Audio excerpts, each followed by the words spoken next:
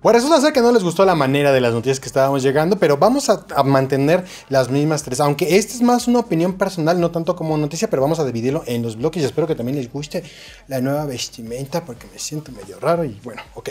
Pero curiosa, curiosa. Este es un tema muy interesante eh, que no lo hemos abordado mucho, pero causa es de que Dos ejércitos están buscando reclutar gamers. Uno de ellos es el ejército estadounidense y el otro es el ejército británico. Cada uno tiene distintas cuestiones, distintas necesidades, distintas características, pero te recuerdo que hacemos video diario y que actives la campanita para que no te pierdas ninguno de ellos. Vamos a hablar primero del ejército estadounidense. El ejército estadounidense, esto empezó el año pasado.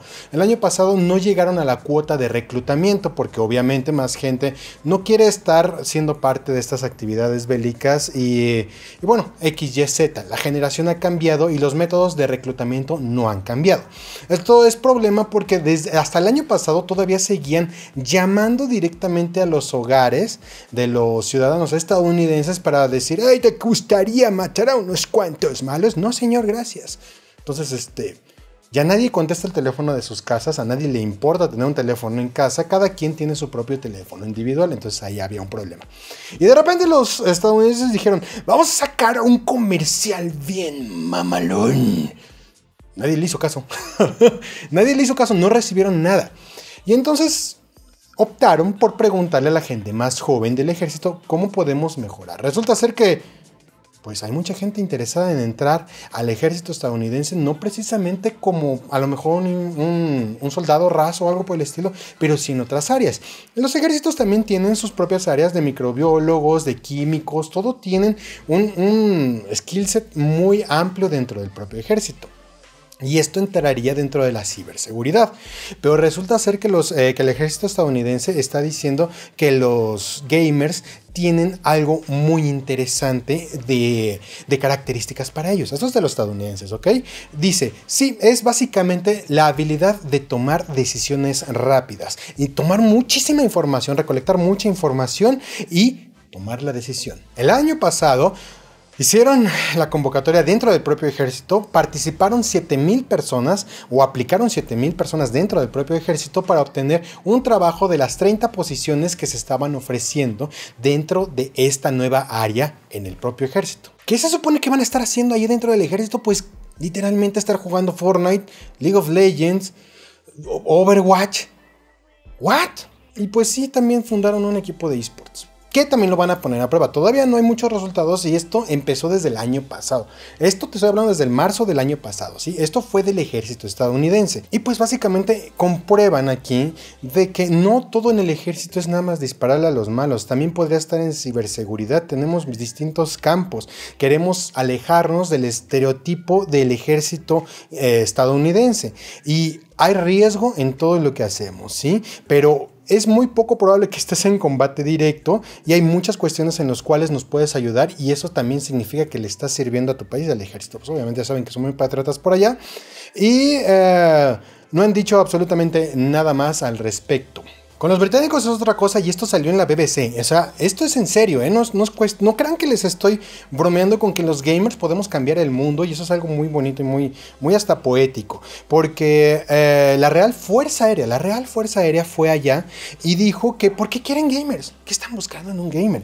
Y es la habilidad de asimilar información, reaccionar rápidamente y coordinar acciones mientras se mantienen tranquilos, bajo presión y esto es algo que se encuentra mucho en casi todos los círculos del gaming competitivo, desde first person shooter hasta, no sé, un LOL, un Dota, un StarCraft, todo cuenta muchachos. Y ojo aquí porque hay una opinión muy importante y muy interesante que, les quiero decir. Pero básicamente son muchos roles, ¿no? Hay muchas este, cuestiones que podemos estar utilizando y la verdad es que se está comentando que si tú juegas IF Online, básicamente estás teniendo una maestría de administración de empresas. Si nosotros vamos y empezamos a buscar la información de IF Online, básicamente la curva de aprendizaje en cualquier juego es así y ya vas bien, ¿no? Subes poquito, es un poquito difícil y luego ya se normaliza. EVE Online es básicamente Porque manejas tantos recursos, tienes que estar manejando tantos datos que básicamente es un videojuego que, que, te puede deshacer la cabeza y toma muchos años dominarlo, toma muchos años ser un experto en ello y están considerando que cuenta como maestría. Y esto es algo muy importante porque los tiempos están cambiando. Ya no hay estigma en los juegos, que esto también es lo que está reportando la, la BBC. Y si alguien puede articular de manera clave cómo coordinó ciertas acciones en estos tipos de juego, podrían considerar las empresas allá afuera, considerar más fácilmente la contratación de este tipo de personas. Y es innegable que los gamers tenemos habilidades muy interesantes. Y esto lo puedes ver muy claro si ves al Cham o ves a Jim Rising o ves a Major jugando a StarCraft todo tiene parte de una coordinación absoluta para estar rompiendo. Cuando tú ves al Cloud9, cuando tú ves al Fanatic, cuando tú ves todo eso, muchachos, nosotros estamos embebidos de puras estadísticas y todas estas habilidades pueden ser extrapoladas fácilmente en el mundo de allá afuera. Si tú manejas o tienes que manejar toda tu cantidad ridícula de recursos que tú utilizas en Civilizations, que tú utilizas en Age of Empires, que tú utilizas en todos esos juegos, puedes tener un sentido mejor de organización que muchas personas que están allá afuera. Y creo que ha quedado muy claro que lo que nosotros hacemos aquí, allá afuera no lo entienden. Pero lo que hacemos aquí puede cambiar todo el mundo de allá afuera y ni siquiera se estarían enterando. Cada vez tenemos más habilidades, cada vez exigimos más, cada vez tenemos mejores capacidades hasta intelectuales.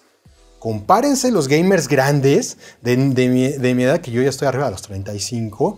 Me comparo con demás gente que no ha tenido experiencia con los videojuegos y veo cosas muy interesantes. Tú te has comparado con tus propios, eh, no sé, con tu propio círculo social y compárate con gente que no juega videojuegos y busca las diferencias.